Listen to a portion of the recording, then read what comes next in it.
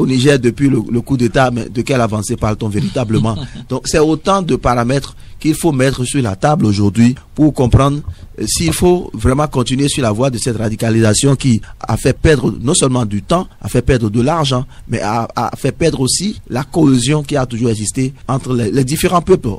Dit, on a même tort de réduire l'affaire entre le Bénin et le, Niger, les différents peuples donc de la, de sous-région, parce qu'il y a cette interaction aussi bien commerciale que humaine qui a toujours prévalu et c'était vraiment dommage de continuer dans ces voies de, du jusqu'au boutisme sans fondement priori. Parce que quand on regarde les choses de plus près, on se rend compte qu'il il n'en est véritablement rien. Parce que dans tous les cas, dans tous les cas, il n'y a pas de jour, il n'y a pas de semaine où on ne parle pas d'attaque terroriste au, Il y en a toujours. au, Niger. Et ce qu'on semble oublier dans cette affaire, c'est que le Bénin aussi est en plein dedans aujourd'hui. C'est parce que nous sommes à Porto Novo, nous sommes à Cotonou, on ne sait pas véritablement ce qui se passe. Ça chauffe dans le le nord. nord, mais ça chauffe sérieusement. Le. Ça chauffe sérieusement. Et le Bénin a dû faire d'énormes investissements qui auraient pu servir à autre chose dans notre pays, par exemple. Donc, c'est dire que nous sommes embarqués tous dans des situations qui euh, euh, ne nous euh, arrangent pas du tout, mais pas du tout. Alors, et qui, eh bien, se radicalise si nous persistons dans cette division, si nous persistons dans cette approche où chacun voudrait donc tirer le drap de son côté et faire les choses tout seul, alors que toutes les études, alors que toutes les analyses, alors que toutes les réflexions donnent sur l'importance et d'ailleurs le caractère incontournable d'une collaboration, d'une cohésion entre les différentes forces de la sous-région pour pouvoir contrer eh bien, cette guerre asymétrique que constitue le, le terrorisme aujourd'hui où on se bat contre l'inconnu pratiquement. Donc c'est de cela qu'il s'agit. Je pense que il n'était pas trop trop trop tôt. Je n'ai pas envie de dire qu'il n'était pas trop n'est pas trop tôt justement d'en venir justement à cette démarche euh, de, donc des, des Nigériens qui auraient pu répondre depuis à- aux appels, aux différents appels du président Patrice Talon. Maintenant, si c'est la voix, les voix des anciens présidents qui ont été un peu plus audibles, c'est tant mieux. On dit chez moi euh, que bon, euh, c'est- l'homme qui a trouvé le serpent, et, et la femme l'a tué. L'essentiel c'est qu'on tue le serpent. Et donc ça ne pose pas de problème que ce soit l'homme qui trouve le serpent et que ce soit la, la femme qui, qui le tue. L'essentiel c'est que le serpent Le soit tué. serpent meurt. C'est tout. Ça cause mon kéké, la crise qui a opposé le Niger au Bénin a donné du terrain quand même aux terroristes qui agissent dans les deux pays. Aujourd'hui, je pense que à l'issue de cette rencontre entre les délégations des deux pays, on peut quand même pousser un ouf de soulagement pour dire que on peut, on se retourne véritablement maintenant contre les ennemis des deux pays. Non, mais moi je pense que les djihadistes ou les ennemis communs aux deux pays ont profité de cette crise pour s'installer au lieu que ces deux pays se chamaillent autour du rien du tout. C'est vrai, c'est de ça que Fidel a parlé tout à l'heure et de combattre ceux qui sont leurs ennemis. Ils ont laissé ces ennemis-là pour s'attaquer à rien du Pour tout. se transformer en ennemis. Et c'est ça surtout qui a fait que aujourd'hui on observe l'assise de ces djihadistes dans ces deux pays. Alors, je voudrais un peu revenir en arrière pour parler de ce que Fidel vient de dire que Tiani faisait un bilan positif dans son pays. Mais c'est normal. Mais qu'est-ce que Fidel veut que Tiani dise à sa population? C'est à sa population de juger si le bilan est positif ou pas. Nous, nous n'avons rien à foutre dans ce qui, de ce qui se passe au Niger. Et c'est de ça que je parle souvent à nos confrères. Mais ça nous interpelle Non, aussi. Ça ne nous interpelle en rien. Parce que le Niger est différent du Bénin. Est-ce que, Bénin. quelqu'un a Et- suivi les différentes, suivi les différentes opinions émises ces derniers temps, hein, à, à, à l'aune de, de, des assises de la CDAO, des différentes personnalités, des différents influenceurs qui sont montés au créneau pour traiter, nous, notre président de la République, de tous les mots Hmm. qu'ils veulent à, à, à, à l'analyse de la situation entre le Bénin et le Niger. Je ne sais pas si vous avez suivi. Non, mais aucun est pays, aucun, faire- aucun pays au monde aujourd'hui Oui. ne vit en vase clos. Les, les gens ont la possibilité, eh bien, d'apprécier ce que vous faites, en bon comme en mal. Mais de nous dire que nous n'avons pas du tout le droit d'opiner, alors que les, droits, les gens, les autres opinent. Donc, c'est et parce vont- que vont- les autres opinent mal et vont, et vont même jusqu'à, vous et vont même qu'il jusqu'à faut insulter. juger, Ah, c'est mal nous, notre président de la. République, Moi, je et votre que- fierté n'en prend pas un coup, il y a un problème. Non, non, non, je ne parle pas du fait que Mesdames et messieurs, nous entrons dans la deuxième partie de cette émission en recevant les débatteurs qui sont ici aujourd'hui avec nous pour finir en beauté hein, cette semaine. Et deux de nos débatteurs sont en studio avec nous. Le tout premier, Fidèle Vaudounan, bonjour. Bonjour chers amis, bonjour à tous les amis auditeurs et internautes fidèles de Crystal News. Ils sont fidèles à taper www.crystal-news.net pour écouter cette émission et aujourd'hui également en face de fidèles, nous avons Cosmo Keke, bonjour. Bonjour, cher ami Patrice Avala et bonjour à tous les auditeurs de Crystal News. Une préoccupation à la une de plusieurs canards aujourd'hui. Cette descente d'une délégation de la junte militaire au pouvoir au Niger, au Bénin, pour rencontrer les autorités béninoises, notamment le président Patrice Talon. Plusieurs canards en ont fait cas à la une aujourd'hui. Dernier jour de la semaine, dernier jour ouvrable, cela s'entend de cette semaine. Et avec le télégramme, on peut lire, fidèle Rencontre entre le chef de l'État et la délégation nigérienne. Voici les sujets de discussion entre Talon et les émissaires de Tiani. Des visites pour rassurer le Niger de l'absence de bases militaires étrangères au Bénin.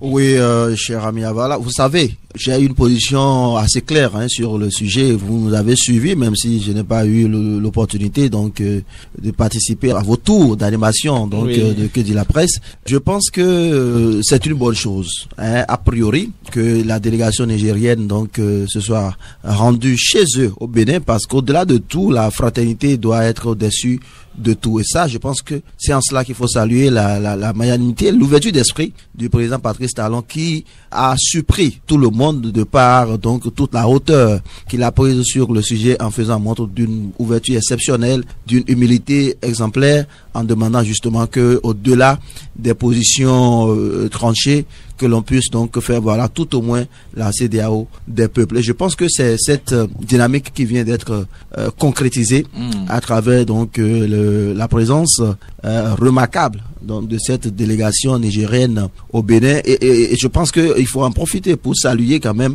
la démarche donc des anciens présidents, en l'occurrence le, le, président Nicéphore Soglo et le président Boni Yahi, qui on doit pouvoir le reconnaître, ont quand même pris sur eux donc de régler le problème en faisant eh bien les démarches que nous avons tous suivies. À l'arrivée, à l'arrivée, moi je pense que il faut peut-être oublier de situer forcément les responsabilités. Ah oui. Oui, parce que si on doit s'en tenir justement à ces responsabilités, à vouloir les situer, de par moi, la, la vision, la lecture que j'ai de la situation, on risque de, de rouler encore une fois, eh bien, le, le couteau dans la plaie. Parce que de part et d'autre, les positions sont comprises aujourd'hui. Il a fallu pour, euh, vous avez parlé de jeunes militaires au pouvoir, ce que Oui. notre, notre ami euh, euh, Vigile Avancé n'aime pas souvent dire. Il, il pourrait parler, parler plutôt des autorités nigériennes, des nouvelles autorités nigériennes. Ah, les j'ai l'habitude de dire que ça n'a pas d'autre nom en réalité, parce que tout simplement, un coup d'état militaire reste un coup d'état militaire. On- On, on- on va trouver tous les enjoliveurs, mais Ils ont ça d'ailleurs reste, trouvé ça, ça reste euh, co- conseil de transition, c'est ça? Voilà, le Euh, CNSP. euh, voilà. Donc ça ne change rien en fait à ce qui s'est passé, à la manière dont ils ont pris euh, le pouvoir au Niger. Et quand on prend le pouvoir de cette manière, on a forcément des problèmes de sécurité, on a forcément des problèmes de sérénité, on a forcément des problèmes euh, de confiance en soi et surtout des problèmes de visibilité vis-à-vis d'abord des populations à qui on vend quand même le nécessaire pour se rallier à la cause et à côté de ça, on a à convaincre maintenant la communauté internationale. Mais quand vous prenez le- la position du Bénin sur la question, euh, quand ça a commencé, ce n'était pas une position du, du Bénin, c'était une position d'une communauté Oui. à laquelle nous appartenions tous, aussi bien le Bénin que le, le Niger. Il s'est fait. Malheureusement que d'autres ont respecté mieux que certains ou que certains ont respecté mieux que d'autres et ça nous a valu ce que ça nous a valu. Mais comme le disait le président Patrice Talon, il y a un temps pour euh, prendre des positions, il y a un temps pour être euh, ferme sur les décisions, mais il y a aussi un temps pour s'asseoir maintenant et faire face à la réalité et discuter, trouver des solutions. Je pense que ce temps qu'il a souvent appelé de ses voeux est finalement arrivé. On va souhaiter que les échanges qui ont eu lieu, les visites qui ont eu lieu puissent porter véritablement des fruits d'une ouverture très rapide donc des frontières entre les deux pays pour le bonheur primordial des populations. C'est ça qu'il s'agit. Parce que j'ai souvent dit sur ce plateau que ce n'est pas le général Abdou Ramani Tiani qui n'a pas de maïs à manger ou je ne sais pas de, de fonio pour, pour son déjeuner, encore moins Patrice Talon qui manquerait même euh, de fromage dans, dans son plat. C'est les populations qui souffrent justement les populations qui des pays. De, de, cette situation. Et il n'était pas trop tôt justement d'en arriver à cette démarche-là selon moi. Mmh. Cosmo Keke, avec le matinal, il est dit au sujet de cette euh, descente de la délégation nigérienne au Bénin, mission express des émissaires de Tiané au Bénin, peut-on lire à la une du canard, les principales pommes de discorde réglées. La délégation nigérienne satisfaite, c'est ce que nous veut dire le matinal. Je pense que cette euh, rencontre avec euh, les émissaires de, de Tiani au Bénin est une satisfaction pour les deux pays. C'est une satisfaction pour les deux pays, étant donné que, vous savez, quand vous êtes ensemble et qu'il n'arrive pas à une situation de conflit, vous ne pouvez pas comprendre ce que l'un représente à côté de l'autre. Oui. Je pense que cette situation a permis au Bénin de connaître beaucoup plus la valeur du Niger et a permis aussi au Niger qu'il a beaucoup plus besoin du Bénin parce que au début de la situation on a tendance à croire que c'est le Bénin qui a plus besoin du Niger et que le Niger n'a pas du tout besoin du Bénin pour preuve quand cette affaire ou cette situation de pipeline est arrivée, les Nigériens ont vite fait pour aller vers le Tchad pour dire bon ils vont tenter de créer pas vers le Tchad. Mais un peu comme après plusieurs tentatives de résolution avec le Bénin. Oui, mais non, au fait, ils ont, échoué. Alors donc pour le Niger, le Bénin non, non, non, je suis pas tout à fait d'accord. Je suis pas tout à fait d'accord. Il n'y a pas eu de tentative du Niger vers le Bénin non, à, je dis, à la matière. le Bénin qui a ah, tenté. Ah, d'accord. Parce ah, que la tentative du Bénin, c'est que le Bénin a ouvert les frontières. Mais le Niger a gardé sa position et a gardé sa, sa, sa frontière fermée. Donc c'est pour vous dire quoi? Le Niger pensait qu'il n'avait pas du tout besoin du Bénin. Il n'avait pas du tout besoin du Bénin. Et voilà, avec le temps, le Niger a compris que aussi bien que le Bénin a besoin du Niger, que le Niger a aussi besoin du Bénin. Sinon que le Niger n'avait pas forcément besoin ou bien Tiani n'était pas obligé, même s'il avait bien reçu les anciens présidents du Bénin qui sont allés vers lui, il n'était pas obligé de dépêcher aussi un émissaire au Bénin pour dire bon, nous allons, puisque ça fait partie de ce qu'ils ont retenu ensemble. Nous, nous sommes venus, mais il faut que vous envoyez aussi une commission au Bénin. Mm. Si Niger voyait qu'il n'avait pas du tout besoin du Bénin, je pense que le Niger n'allait pas penser. Il allait s'abstenir. Bon, bon, dit, bon, oui, c'est des grandes personnes qui sont venues et qui leur a déjà accordé tout ce qu'il faut à leur rang. Donc, euh, pour le reste là, bon, il va se foutre de tout ce qui reste. Mais il a compris qu'il a besoin forcément de ce Bénin. Et c'est pourquoi il a envoyé. Et il a fallu que ces émissaires arrivent au Bénin pour qu'ils comprennent en réalité que l'idée ou ce qu'ils pensent du Bénin, le Bénin n'est pas ça. Parce que pour les Nigériens aujourd'hui, c'est que le Bénin constitue l'ennemi pour eux. C'est le Bénin qui héberge leurs ennemis. Donc par conséquent, le Bénin est un ennemi pour le Niger. Mais quand ils sont venus, ils sont surpris de constater que le Bénin n'est pas là où on est en train de penser qu'il est. Je crois que c'est heureux que les Nigériens retournent satisfaits dans leur pays et que ce qu'on attend d'eux aujourd'hui, c'est ce qu'ils ont pu retenir de ce qui a été dit au Bénin. Parce que le tout ne suffit pas de venir parler au Bénin, de dire que nous sommes satisfaits. Le problème reste posé, c'est l'ouverture des frontières et le passage du pétrole par le Bénin. Donc voilà les deux préoccupations. Et quand on a et la sécurité dit, des personnes et des biens. Voilà. Donc, non, si déjà on ouvre les frontières, je crois que la sécurité est déjà installée. Donc ils n'ont qu'à ouvrir les frontières et permettre à ce que le pétrole commence pas à couler par le Bénin. Fidèle Vaudounon, c'est le quotidien Les Quatre Vérités qui nous rappelle l'objectif de ce déplacement des émissaires du général Tiani au Bénin, qui est de décrisper et normaliser les relations entre les deux pays. Arrivé peu avant 12 heures à l'aéroport de Cotonou, écrit le canard, la délégation a été reçue une heure après en audience par le chef de l'État. Patrice Talon. Il avait à ses côtés ses deux prédécesseurs, Nicéphore Dieudonné Soglo et Boniaï, son ministre des Affaires étrangères et celui du plan. La rencontre aurait duré un peu moins de deux heures selon les informations citées par les quatre vérités de RFI. Oui, je, je pense qu'on n'en saura que ça hein, puisque les échanges ont eu lieu à, à huis clos. Oui, il n'y a pas eu de déclaration Il n'y a, pas eu de officielle. déclaration officielle. Euh, Je crois avoir lu hein, dans un, un canard euh, en, en ligne hein, que le, le ministre, euh, non, je crois le directeur de cabinet hein, du président Tiani, oui, c'est une fait quelques- délégation quelques, forte. déclarations euh, pour euh, rappeler les circonstances justement des difficultés qui ont amené justement à cette euh, démarche-là. Je pense qu'il n'y a rien de nouveau a priori. Si nous devons euh, spéculer sur, sur la question, c'est de remarquer qu'il était question de lever les, les voiles sur deux ou trois points. Mm. Euh, le premier déjà, c'est sur la question donc de, de clarifier que le Bénin n'héberge pas de base euh, militaire française. Bon, Et de- disons base militaire permanente, puisque euh, et de, et de base militaire prête à l'attaque sur euh, sur le Niger. Et sur cette question, moi, ou même allons plus loin, le Burkina Faso également. ah voilà. Et, et- et sur la question, moi j'ai dit, j'ai dit souvent ici que c'est un faux problème en fait. Je, je me suis dit à un moment donné, moi, ça, ça, ça n'engage que moi, que c'est peut-être qu'on en veut carrément à la personne du, du président Patrice Talon parce que il y a eu beaucoup d'ouverture. Vous connaissez la qualité de nos frontières a priori.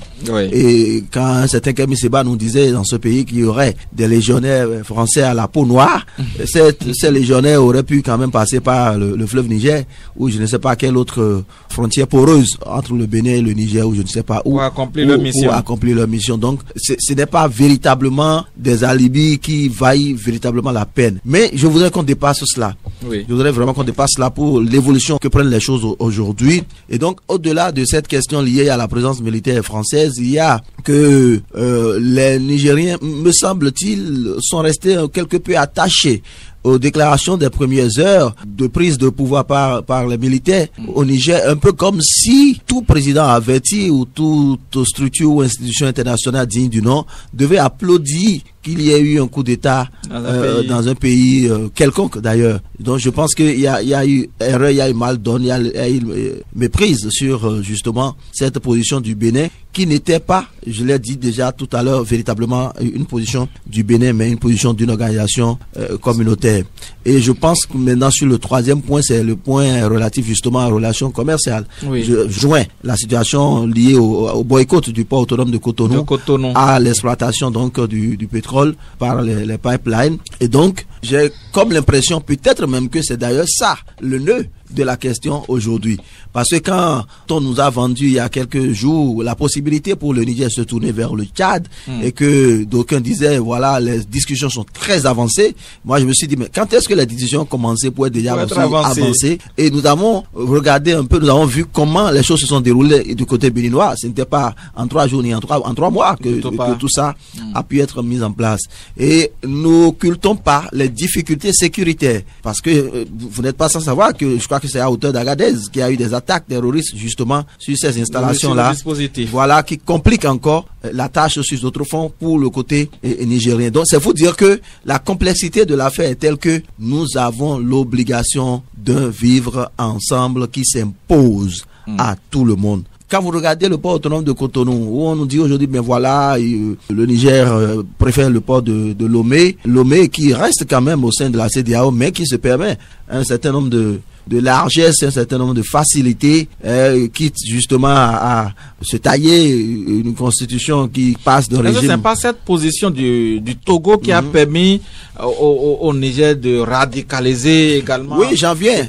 J'en- viens, mais je dis encore une fois que c'était c'était des options suicidaires. Mm. Parce que le Cotonou reste le port naturel du Niger en réalité. Quand vous quand vous questionnez nos transporteurs, vous allez comprendre ce qui se passe en, en réalité avec eux, où des coûts se sont quadruplés Mm. euh, pratiquement pour euh, On a même empêché des véhicules béninois Bé- Béninois- de, bon, bon, de- bon, de- bon, de bon, charger bon, voilà, à Lomé. voilà, voilà des, moi, je- moi j'appelais des avec un communiqué. voilà ce que j'appellerais des enfantillages, très honnêtement. Donc, vous voyez là où ça nous a mené en fait. Donc aujourd'hui, quand euh, on, on regarde tout ça, on se dit euh, tout ça pour ça Mm. en réalité. Moi, j'ai compris, en tout cas pour mon entendement, il fallait pour un régime militaire, eh bien, se trouver des raisons. hein, de montrer à sa population que voilà c'est un engagement nationaliste et qu'il faille justement voilà, qu'il faille vraiment. euh, et à côté de ça, vous, vous n'oubliez pas le- la, la communication militaire. La communication militaire, elle reste ce qu'elle est. Mm. Ce n'est pas. Vous avez vu, je ne sais pas si vous avez suivi dernièrement le point fait par le général Tiani à l'occasion donc de la célébration de la fête nationale qui aurait été déplacé par rapport à la date et tout ça. Donc la déclaration qui est faite pour montrer comment il y a eu des avancées hein, au Niger depuis le, le coup d'État, mais de quelle avancée parle-t-on véritablement? Donc c'est autant de paramètres qu'il faut mettre sur la table aujourd'hui pour comprendre euh, s'il faut vraiment continuer sur la voie de cette radicalisation qui a fait perdre non seulement du temps, a fait perdre de l'argent, mais a, fait perdre aussi la cohésion qui a toujours existé entre les, différents peuples. C'est-à-dire, on a même tort de réduire l'affaire entre le Bénin et le, Niger, les différents peuples donc de la, de la sous-région, parce qu'il y a cette interaction aussi bien commerciale que humaine qui a toujours prévalu et c'était vraiment dommage de continuer dans ces voies de, de jusqu'au boutisme sans fondement priori. Parce que quand on regarde les choses de plus près, on oui. se rend compte qu'il il n'en est véritablement rien. Mmh. Parce que dans tous les cas, dans tous les cas, il n'y a pas de jour, il n'y a pas de semaine où on ne parle pas d'attaque terroriste. Au, au, il y en a au, toujours. Au, Niger. Et ce qu'on semble oublier dans cette affaire, c'est que le Bénin aussi est en plein dedans aujourd'hui. Mmh. C'est parce que nous sommes à Porto Novo, nous sommes à Cotonou, on ne sait pas véritablement ce qui se passe. Ça dans, chauffe dans, dans le, nord. mais ça chauffe sérieusement.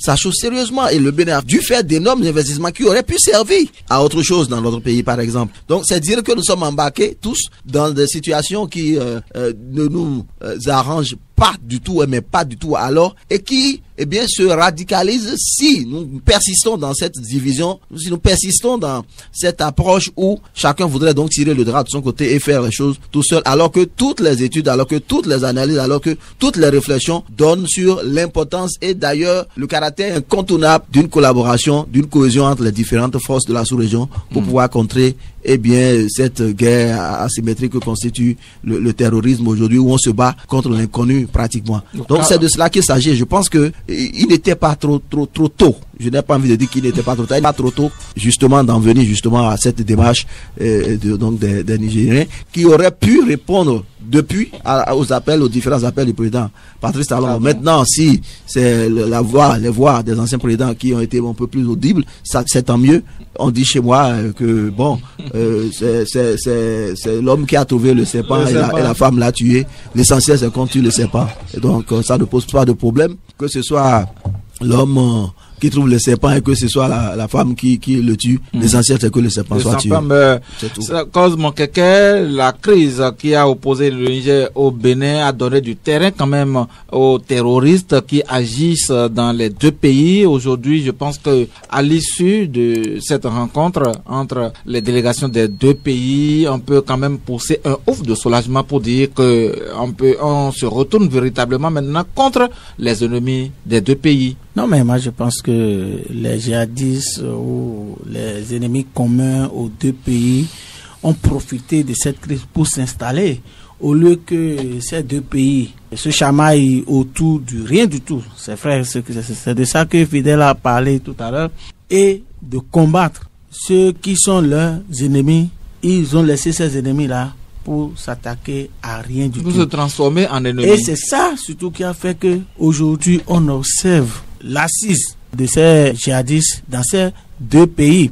Alors, je voudrais un peu revenir en arrière pour parler de ce que Fidel vient de dire que Tiani faisait un bilan positif dans son pays. Mais c'est normal. Mais qu'est-ce que Fidel veut que Tiani dise à sa population? C'est à sa population de juger si le bilan est positif ou pas.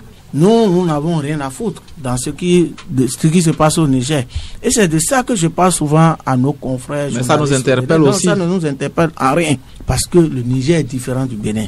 Est-ce que, est que Cosmo quelqu'un a suivi les différentes, suivi les différentes opinions émises ces derniers temps hein, à, à, à l'aune de, de, des assises de la CDAO, des différentes personnalités, des différents influenceurs qui sont montés au créneau pour traiter, nous, notre président de la République, de tous les mots mm. qu'ils veulent à, à, à l'analyse de la situation entre le Bénin et le Niger. Je ne sais pas si vous avez suivi. Non, mais aucun pays, aucun, aucun pays au monde aujourd'hui oui. ne vit en vase clos. Les, les gens ont la possibilité eh bien, d'apprécier ce que vous faites, en bon comme en mal. Mais de nous dire que nous n'avons pas du tout le droit d'opiner, alors que les, droits, les gens, les autres opinent. Donc, c'est parce que les autres opinent mal. Et vont, et vont même jusqu'à, insulter.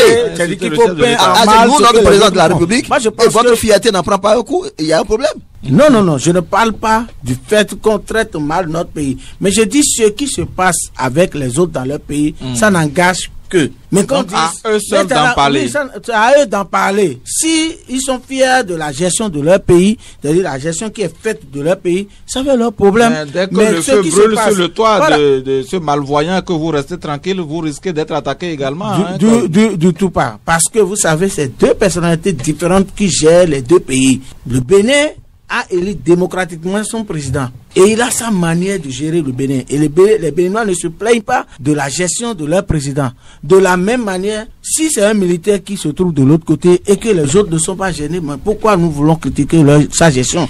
Moi, je ne vois pas pourquoi nous devons mêler dans la gestion de, de, pays. Si c'est ce qui concerne la crise, je suis d'accord. Je ne peux pas accepter que, à cause de la crise qui est née entre le Niger et le Bénin, que des gens traitent notre pays ou notre président de n'importe Mais c'est de ça qu'il s'agit. Non, mais c'est de ça qu'il s'agit justement. C'est ça que vous avez parlé. Vous avez parlé du président nigérien qui faisait un bilan positif de sa gestion. Mm. Et c'est de ça que je vous parle. Que ce que si l'autre et vous parlez de quel bilan de quel bilan qui est positif?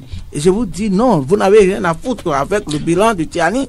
Tiani est bon, il peut être mauvais pour nous. Mais s'il est bon pour les Nigériens, tant mieux. Ou tant mieux pour eux. Donc ça Maintenant, les ça les regarde. Nous n'avons rien à foutre dans sa gestion. Non, mais, il faut, il faut expliquer, si vous permettez, Cosme Il faut expliquer certaines oui, choses. Oui, allez-y. Il faut expliquer certaines choses. la délégation nigérienne au Bénin, au Bénin a insisté hein, sur les conditions de vie et de travail des Nigériens au Bénin. Ils ont même rencontré la, communauté nigérienne, au Bénin. Vous, avez, vous savez, c'est la même chose du côté du Niger. Nous avons des frères là-bas. Nous avons des parents qui vivent au Niger. Nous en avons qui sont même presque devenus Nigériens parce qu'ils ont acheté des parcelles, ils ont construit, ils ont tout leur famille là-bas, par exemple. Et vous pensez que ça ne nous regarde pas? Il y a un, il y a un problème. ça, ça, nous regarde. D'autant plus que si on prend, par exemple, sur le chantier du terrorisme, oui. c'est qui est d'ailleurs le, motif de, de, de base, mm. ok, de ce coup d'État au Niger. Vous me demanderez si vous avez d'autres informations. On, on voit ce qui se passe aujourd'hui. Est-ce pour autant que, eh bien, les choses se sont arrangées pour les Nigériens et sur toute la bande jusqu'au jusqu'au Burkina? Vous avez les dernières informations J'en ai, parlé tout à l'heure. Qu'est-ce qu'il y en est de l'efficacité aujourd'hui Oui, oui, si vous permettez, si vous permettez, j'aurais fini, j'aurais fini, en 15 secondes. Si vous regardez, si véritablement efficacité il y avait par rapport aux, nouveaux partenaires, hein, je veux parler beaucoup de plus la de, Suisse et de, la Russie. De, la Russie. Et, donc, qu'est-ce qui a véritablement changé? S'il y a encore des dizaines et des centaines de soldats qui tombent sur, sur, ces, sur cette bande-là, il y a un véritable problème. Donc, je pense que, ne serait-ce que sur cet indicateur-là, hmm. qui a justifier, nous dit-on, le coup d'État, on peut trouver à redire sur le bilan. Donc ça vous dire que nous, on ne fait pas, en tout cas moi personnellement, je ne fais pas de bilan, euh, enfin je n'apprécie pas le bilan euh, nihilo. C'est à l'aune justement de ce que eux-mêmes ils ont promis en prenant le pouvoir par les armes que je le dis. Mais cela dit, ça reste une analyse. Mais ne nous déniez pas le droit d'analyser. Parce que c'est comme, comme si vous tuez même le journalisme international.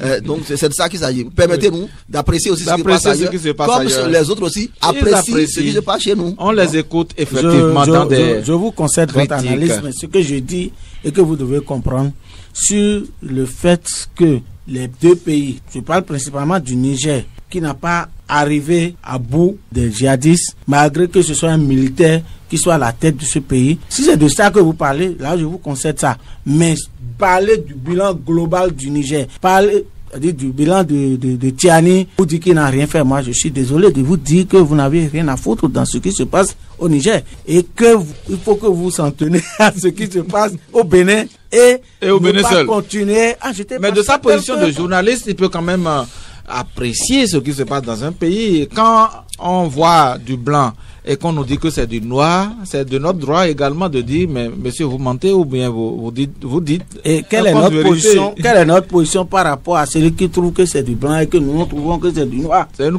Parce que c'est peut-être que c'est le côté noir, c'est le côté où c'est noir que nous voyons mais l'autre voit que c'est blanc parce que c'est à cause de sa position. Parce qu'il a porté les verres. ne sont pas dans les mêmes positions. donc vous comprenez. Donc je pense que avec la rencontre des émissaires du, Tiani au Bénin avec le chef de l'État béninois, je pense que c'est ça qui va renforcer euh, ce combat. Les griefs qui opposent les deux pays étaient au centre des échanges. Oui, et ils ont discuté de tout ça. Et ils ont même maintenant trouvé, parce que le, Le Niger les- qui a cherché à comprendre avait- pourquoi le Bénin a durci sa position vis-à-vis de lui quand il s'est agi des décisions prises par la CEDEAO contre la junte militaire. Oui, mais c'est normal que le Niger pose ces questions parce que vous-même, vous avez compris comment ça s'est passé dans le pays. Quand il était question, quand la CDAO a pris sa décision, vous avez vu comment le Bénin s'était comporté. Le Bénin s'était comporté comme si il y avait un problème entre-temps qui était entre les deux pays. C'est une Et il fallait commune. profiter, voilà, il fallait profiter. Non, une décision commune. Le Togo ne fait pas partie de la CDAO. Mais pourquoi le Togo ne s'est pas comporté tel que le Bénin s'est Togo comporté? N'est-ce pas un le- mauvais élève Le Togo Non. avait son agenda. non, le, ah, Le président Donc, togolais avait son agenda. Donc, donc, il fallait aussi qu'on ait aussi notre agenda. Ah, non, non, non. Pour que ne notre voulait agenda pas- ne soit nous- pas l'agenda on ne voulait pas passer d'un régime présidentiel à un régime, Quand, quand, quand c'est arrivé maintenant, c'est Oui. tombé seulement sur notre tête. Et aujourd'hui maintenant, le seul pays qui est fait. le, le seul pays qui est exposé dans cette décision que la CEDEAO a prise, c'est le Bénin. Oui, à cause Hein? de sa proximité a- avec le Niger. sa proximité Et avec le normale. Niger. Non, mais c'est pas seulement chose normale parce que le Togo aussi était là et pouvait exactement se comporter comme le Bénin vis-à-vis du Niger. Mais pourquoi le Togo ne s'est pas comporté comme ça? C'est pour nous dire que ce qui s'est passé, nous devons prendre leçon dans ce qui s'est passé et dire que ce n'est pas tel qu'on vous a remis fusil là qu'il faut tirer. C'est-à-dire quand vous on dit, il faut ah non, il faut changer. C'est-à-dire quand vous dit allez-y, il faut réfléchir et vous dire que moi-même là, j'ai Il faut voir la cible d'abord. Avant de tirer.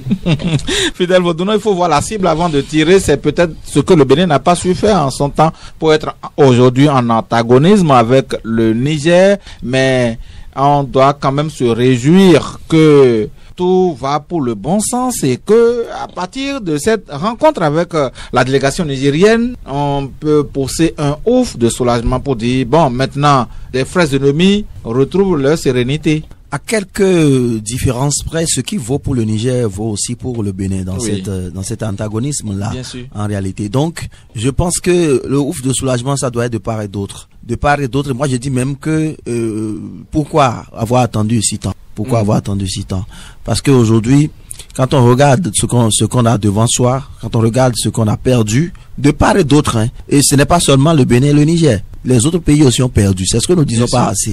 Est-ce que vous voyez, les autres pays aussi ont perdu? Parce que ce qui vient, qui traverse le Bénin par exemple, ça, ça vient de, de quelque part. Bien Ça peut venir du Nigeria, ça peut venir même du Togo, ça peut venir d'un peu partout. C'est le monde entier qui, normalement, en a souffert d'une façon ou d'une autre. Sans oublier les commerçants, les transporteurs, les acteurs, en tout cas du, du corridor Bénin-Niger, qui en ont payé vraiment un très lourd tribut. Donc, je pense que le ouf de soulagement, oui. Mais il reste encore à faire selon moi. Il ne suffit pas de venir au Bénin, de discuter, de prendre la preuve que oui, euh, il n'en était rien. Encore que moi, vous m'excuserez du peu, je vous disais qu'il n'en était rien, il savait qu'il n'en était rien. Et qu'il était question, comme disait quelqu'un sur ce plateau il y a quelques semaines sur le même sujet, qu'il était question de punir le Bénin. Euh, de punir le Bénin. On ne punit pas. Parce que le Bénin a adopté une position. Euh, on ne punit pas, on ne punit pas un pays. C'est, c'est, c'est, moi je l'ai dit, hein, il y a, il y a un esprit qui gouverne quand même le Bénin. Il y a des, il y a des esprits qui gouvernent le Bénin. Je rentre dans d'autres dimensions et on ne s'en prend pas au Bénin impunément. Donc c'est déjà ça que on puisse en arriver à cette démarche de- des anciens présidents qui aboutit aujourd'hui. Et il faut donc souhaiter, comme je le dis, que on puisse aller jusqu'au bout. Oui. Aller jusqu'au bout, c'est que les deux chefs d'État puissent se retrouver. Ok, Enfin. oui, il faut qu'ils bien qu'ils se retrouvent. Les, À les, les émissaires, peu importe, les émissaires y en rendent compte. Et donc, si le dispositif diplomatique est mis en branle, ça devrait pouvoir permettre aux deux de pouvoir s'appeler, tout au moins déjà, Mm. ok, et de, s'entendre sur, sur un agenda. Ça peut être euh, au Bénin comme ça peut être euh, au, Niger. au- au Niger, comme ça peut, comme ça peut- voilà, comme, comme dans un pays neutre, pour aplanir les, les, les, les points de divergence. Encore que Abdourahman Tiani ne fait pas de sortie, hein, si ce n'est entre les pays de l'AS. Oui, c'est, c'est, c'est- vous comprenez, vous comprenez. Je vous ai déjà dit que euh, tel on fait son lit, tel on se couche. Quand, quand vous avez vu ce qui s'est passé du côté du, du, du- du Mali, par exemple, Mm. comment la, la constitution a été corsée Oui. pour que si jamais quelqu'un se risque encore un coup d'État, eh bien qu'on qu'on qu'on efface sa trace même de, de la surface de la terre apparemment quand, quand on regarde de près cette Ils constitution là. viendront Donc c'est dire Donc c'est dire que, comme on le dit chez nous, celui qui euh, tue pas l'épée n'aime pas qu'on s'amuse avec le couteau avec avec lui quoi. C'est un peu ça, ce qui arrive donc à ces pays-là. Mais on va dépasser ça, comme le Bénin a su dépasser, comme le président Patrice Talon a su donc dépasser tout ça pour dire que bon, il y a un temps pour chaque chose, ok, et que maintenant, euh, je crois que c'est l'Ecclésiaste qui dit pour, pour vous autres chrétiens, ah oui. il y a un temps pour chaque chose, et que maintenant que, que, qu'est venu le temps de l'entente, le temps de la discussion, le temps de la réconciliation, il faut donc aller jusqu'au bout pour en arriver justement aux échanges directs entre les deux chefs d'État pour voir dans quelle mesure permettre aux populations de pousser véritablement le ouf de soulagement dont vous parlez. Parce que le ouf de soulagement, parce que eh, il y a une, une délégation qui a pu eh, fouler le sol béninois, qui a pu rencontrer le chef de l'État, qui a discuter avec un certain nombre d'acteurs, eh, dit oui, ça y est, c'est bon.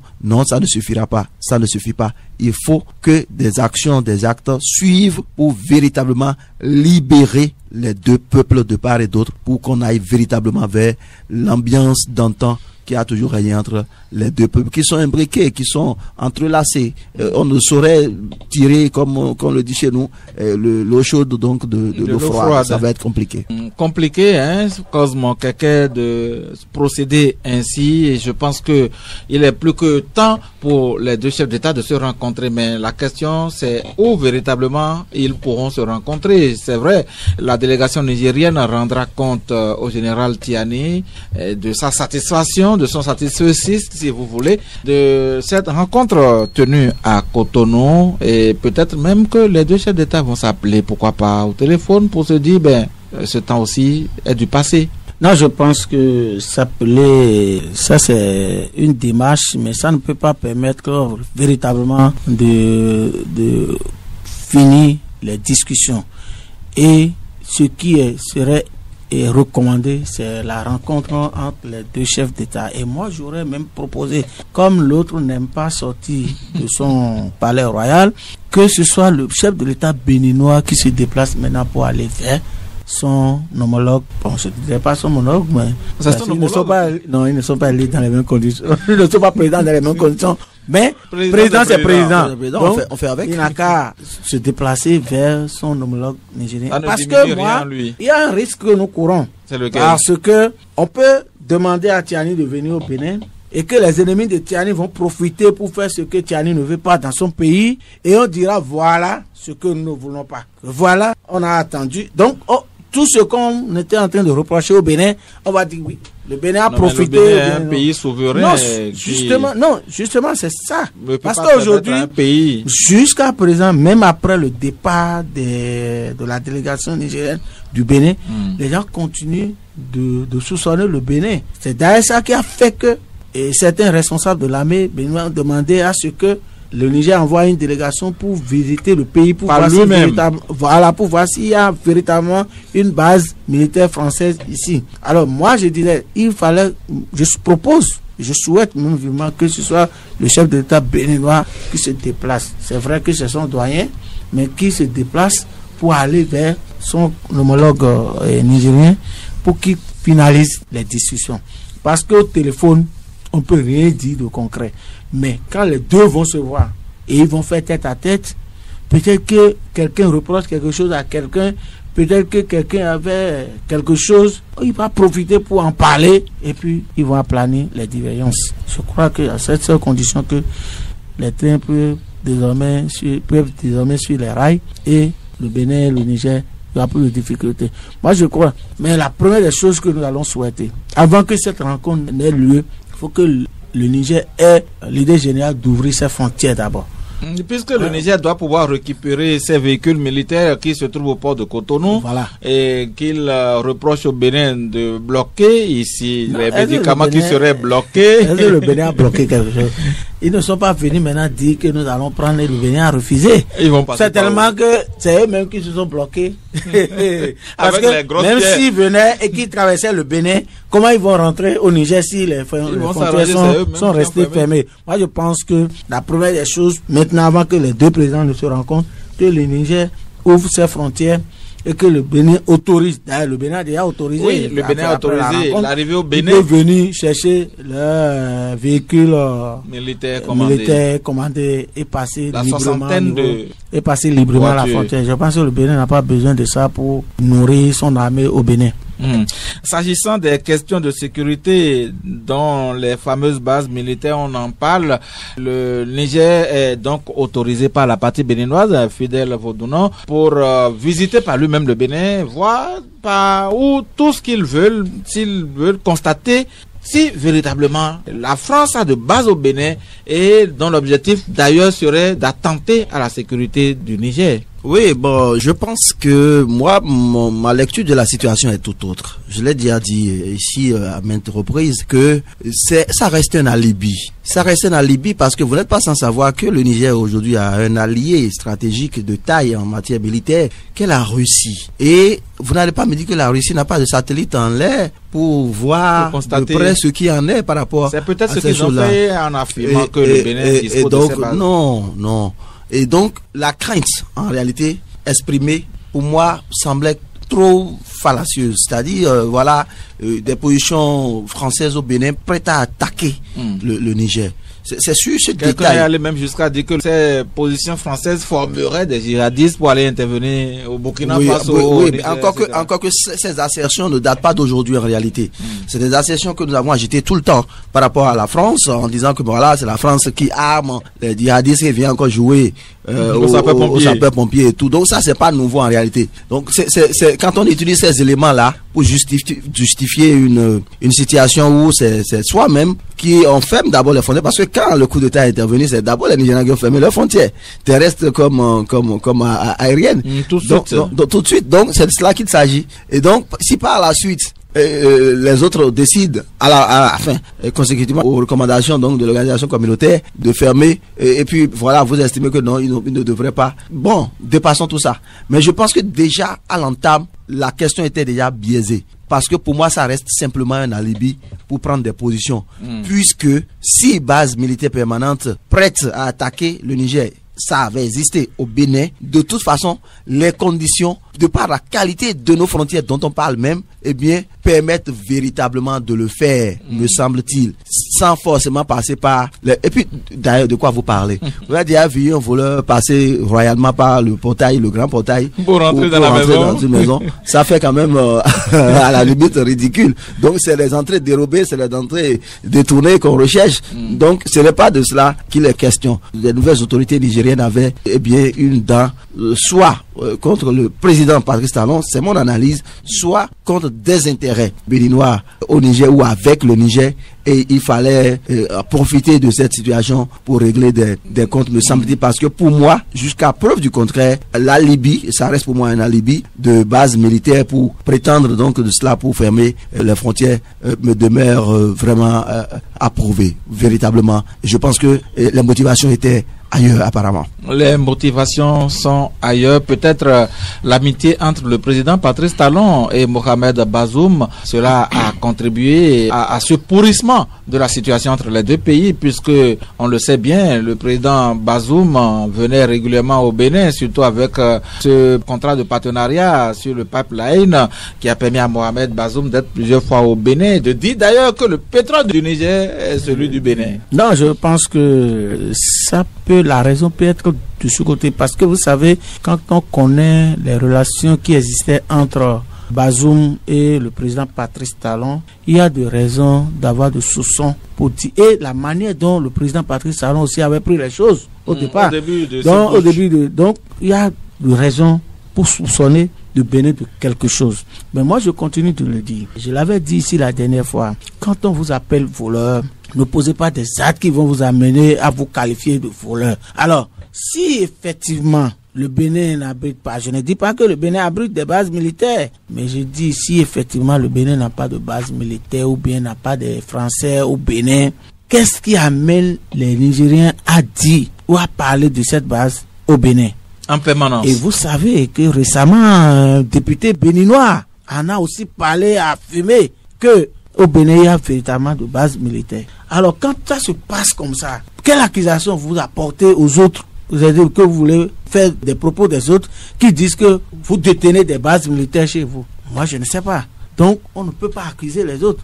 Tant que puis c'est entre-temps, on nous a fait dire, on nous a fait comprendre qu'il y a des militaires français qui sont là pour entraîner ou bien pour les former. instructeurs français, les instructeurs français sont au Bénin. Et il n'y a pas que la France au Bénin, il y a la présence belge, la présence américaine également en au tout Bénin. cas, tout ce qui est blanc, tout ce qui est blanc est français pour les étrangers. Donc, même un béninois qui trouve un belge et qui trouve un français qui trouve, euh, comment on appelle, euh, en tout cas, s'il a la peau blanche, on, va, on l'appelle Yovo chez nous. Mm. Donc, qu'est-ce qu'il Donc on veut pas voir le Yovo au Bénin. euh, non, c'est pas qu'on ne veut pas voir le Bénin, mais J'aimerais bien qu'on- Yovo au Bénin. j'aimerais bien savoir c'est comment- le en- peur. C'est la présence de ces Yovo qui fait peur aux autres. Ah oui.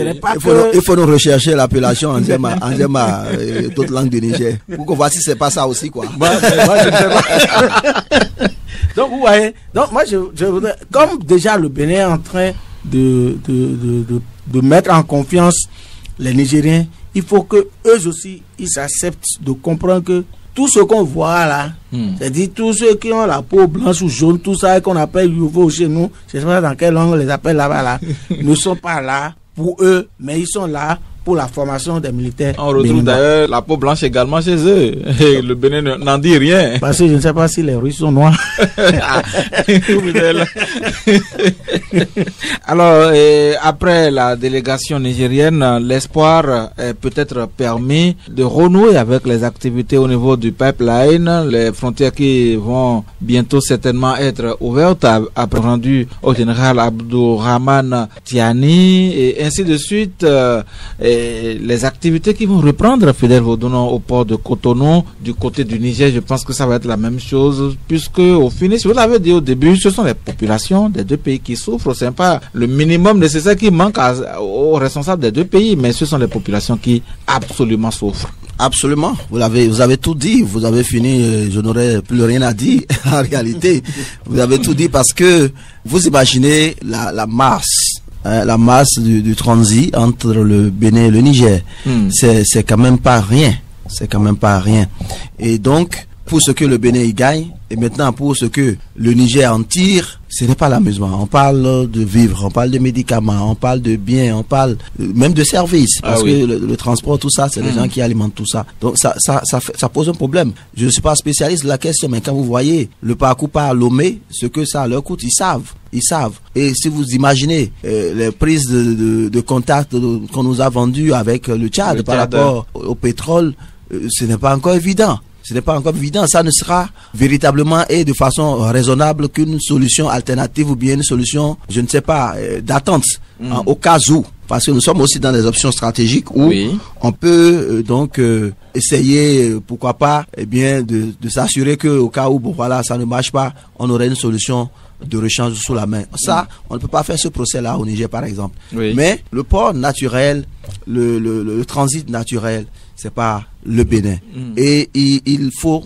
véritablement s'en convaincre et aller vers cette éventualité-là. Parce que ce qu'on n'a pas souvent assez dit dans cette affaire, parce que chez nous ici, le débat a été beaucoup plus politique que, que je vais dire nationaliste, pour le dire ainsi, euh, eh bien, c'est que c'est les deux peuples qui ont perdu et qui continuent de, de perdre. L'un pour ce qu'il gagne à travers donc le trafic, le transit, et l'autre pour ce qu'il reçoit. Parce que vous ne commandez pas des choses dont vous n'avez pas besoin. Si vous commandez des choses, c'est parce que vous en avez besoin. Bien sûr. Et voilà que ces choses-là Sont bloquées. euh, sont bloquées, n'arrivent pas. Par la ou, force des ou- choses. ou- ou quand ça doit arriver, ça arrive après des coûts, des surcoûts, ok, des surplus qui euh, ne sont pas forcément euh, soutenables par vos populations déjà meurtries par cette transition et donc justement les suspensions de collaboration avec telle ou telle euh, puissance ou tel ou tel pays. Donc c'est vraiment difficile pour le Niger aussi. Il faut avoir l'honnêteté de le reconnaître. Oui. Et donc c'est tout le monde qui trouvera son, son, son compte. Ce qu'il faut souhaiter, parce que là nous n'en avons pas assez parlé, c'est que le Niger puisse, euh, à défaut de se démarquer de l'AES, de l'Alliance des États du, du Sahel, Mm. avec la, la, la euh, levée de bouclier du, du, dernièrement, puisse essayer de faire la part des choses. Parce que cette part des choses qu'on n'aurait pas su faire et dont on accuse le président Patrice Talon aujourd'hui au Bénin par rapport à la décision de la CDAO, eh bien, cette part des choses dont nous parlons, si le général Tiani aussi ne sait pas, eh bien, faire cette part des choses par rapport à la nouvelle communauté dont il euh, euh, se réclame dans le Niger, se réclame en l'occurrence l'AES, ça risque d'envenimer encore les choses. Mais dans tous les cas, je pense que c'est le Niger qui perdrait. C'est le Niger qui perd ne serait-ce que au, plan économique aujourd'hui, pour être obligé de contourner, pour être obligé de payer des surcoûts, pour être obligé de, de, subventionner des, vivres pour pouvoir euh, regarder sa, population s'en sortir, alors même qu'il y a une possibilité naturelle qui a toujours euh, existé et qu'on refuse aujourd'hui parce qu'on on serait en train de craindre ce qui n'existe réellement pas. Donc je pense que c'est cet orgueil-là qu'il faut souhaiter que les autorités nigériennes puissent surpasser pour aller véritablement vers des solutions réelles. Et je dis une fois de plus que ça ne suffira pas, les déclarations de bonnes intentions. Il faut aller maintenant vers des actes et des actes concrets mm. et essayer de se démarquer, ne serait-ce que sur ces détails-là de l'AES ou tout simplement s'associer, pourquoi pas, à l'AES pour euh, justement gérer eh bien, la, la, situation parce que vous n'êtes pas sans savoir que ces frontières-là, eh bien, s'alignent sur, sur, la même bande. Et c'est sur cette bande-là, il a été prouvé que nous devons tous collaborer ensemble mm. pour avoir le contrôle dans la mutualisation des, des renseignements et, et, des, et des, forces de, de frappe pour pouvoir nous en sortir. Et je me dis, à la fin, est-ce que c'est pas les terroristes qui gagnent en réalité ah en créant cette euh, division là parce que l'AES a, a, beau exister mais sans le Bénin qui partage aussi quand même une partie de cette bande là je pense qu'il y a toujours un, un, un, problème qui se pose. Mm. alors même que nous sommes tous concernés. Parce qu'on ne le dit pas assez je le dis une fois de plus le Bénin aussi est sous menace terroriste aujourd'hui. Et ce serait vraiment pas honnête de ne pas nous reconnaître ça et de comprendre que nous avons les mêmes soucis que aujourd'hui, peut-être pas de la même envergure, mais soucis il y a quand même. Et donc que nous avons un destin commun, nous devons pouvoir donc travailler ensemble. Travailler ensemble. Cosmo Keke, c'est le vœu le plus cher des deux populations et il faut quand même reconnaître le mérite de ceux qui ont contribué à ce dégel, à ce début de dégel de situation. Euh, Non, mais c'est déjà dégel parce que quand on parle de dégel, de, de début, nous ne sommes plus au début, nous sommes pratiquement vers vers la fin. Nous voyons déjà le bout du tunnel. Ouais, Fidel a dit quelque chose et je fais mieux de son intervention parce qu'il y a un aspect que nous semblons oublier. C'est dit, et les pays de Sahel qui se sont mis ensemble hmm. ne seront pas d'accord, ne seront pas aujourd'hui d'accord avec ce qui se passe entre le Bénin et le Niger aujourd'hui parce qu'ils vont estimer que le Bénin va vouloir embarquer le Niger dans, euh, dans une autre dynamique qui n'est pas forcément leur dynamique. Et déjà, vous voyez la position du, du Burkina Faso aujourd'hui qui trouve que le Bénin héberge lui, le, euh, le, Burkina Faso continue de penser que qu'il y a des bases françaises au Bénin. Hmm. voilà quand nous allons régler de voilà quand nous allons finir de régler notre problème avec le Niger, vous allez voir qu'il y a un autre problème qui va s'opposer entre le Niger et le Burkina Faso parce que qui se trouve dans la même communauté. Et là, le Burkina Faso aura tendance à croire qu'aujourd'hui, ils sont abandonnés par le Niger. Donc, il faut que le Niger surmonte les ambitions et comprendre que le problème qu'il a avec le Bénin est différent du problème qu'il a avec euh, ses intérêts avec euh, la communauté à laquelle il appartient aujourd'hui. L'Alliance des États du Sahel, je pense qu'il a changé entre-temps de nom. Et pour sortir de cette émission, fidèle vous donnons cette euh, information en bas de